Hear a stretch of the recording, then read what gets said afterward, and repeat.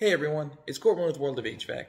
And for a very long time, everyone has been saying that the trades are a quick way to make $100,000 a year. But on paper, it doesn't really look like that. Let me break it down. On Service Titan's website, they actually have the average HVAC technician salary based on your state and experience. Like Alaska, I didn't know they had that much business up there. I think it's primarily heating, but I'm not sure. So if you do do air conditioning in Alaska, let me know when you actually turn the AC on. Now down a bit to where I'm located in Louisiana, it ranges from 43,000 to 78,000. That's a pretty nice life in most areas, I have to admit. Now, if you take those numbers and you divide them by 2080, you get around 20 to $38 an hour. But the real question is, what does it take to break $100,000 a year in this industry? Well, the first thing you have to do is break it down. Take that $100,000 and divide it by 2080. That 2080 number I've been using is 40 hours a week for 52 weeks, one entire year. That will give you a $48 an hour at the basic 40 hours a week. Now, I'm not going to go into overtime because it is not guaranteed and sporadic, especially when you're talking about different seasons and where you live. Even at the top end, at $38 an hour, you're still $10 short an hour, which is $400 a week. Where does that extra money come from? Well, the way I see it, there are three ways to make money in this world. One, trade your time for money. Basically, work more hours. Two, you can specialize and increase your value, which is a higher hourly earning. And three, you can produce. You bring money into a company. Now, with those three, there are a couple things you have to understand. That you can only work so many hours before you are told to stop or just pass out. And if the calls aren't there for you to work dusk to dawn, then you're not going to be hitting that goal anyway. Now, specializing and increasing your value is awesome. We need good techs in this field, but there is a cap to all positions, and $48 an hour is above the cap on our position. That leaves us with producing. There are a ton of technicians that I met that are good with just doing their work, get paid hourly, and go home. But for those of us who want to work less and make more, there's really only one way to do it. Basically, producing is selling. And before I go any further, I only believe in selling ethically. What that means is don't go into someone's house after you found a dead capacitor and tell them they need to buy a new system. That's stealing, and that's not cool. Treat someone's home like your own, and treat your customer like your grandma.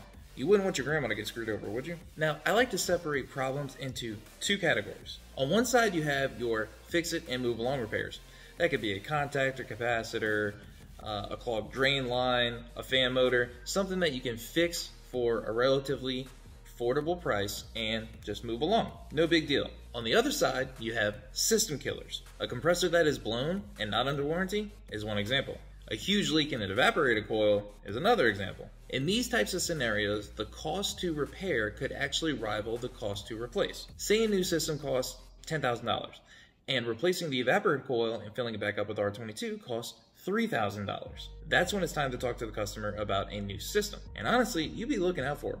Take that scenario with the evaporator coil, and let's say it's an air handler.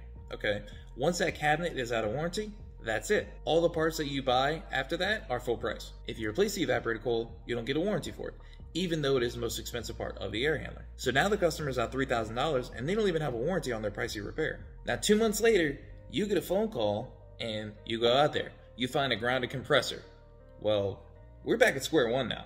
The cost to replace a compressor out of warranty with R22 is astronomical. And nobody in their right mind will pay thousands more just to fix something on the old refrigerant. So now it's time to buy the $10,000 system. Only their full investment is not going to be $10,000. It's going to be $13,000 now because all that stuff you just put in, it's all getting taken away. As a professional, it is your job to inform them of these situations give them the options, and let them figure out what is best for them. Only giving them one option to repair is not helping them out. So now that we've covered how not to steal from somebody, let's go back to the topic and talk about how to use sales to increase your income to the coveted six figures. All sales earnings are based on percentages.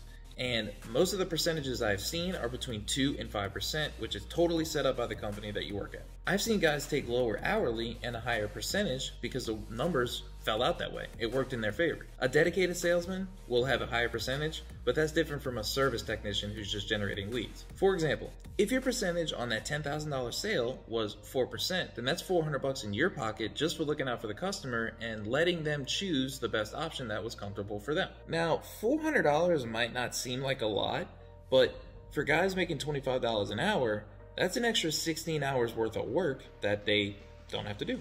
Now the $100,000 a year looks attainable. So in order to reach that six figure number, you have to make $1,923 a week. At $25 an hour, you're making about $1,000 a week.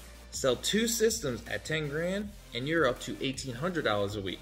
Factor in a little bit of overtime and smaller repair sales at whatever percentage, you're gonna meet that goal. So definitely that six figure income looks a lot less daunting once you break it down.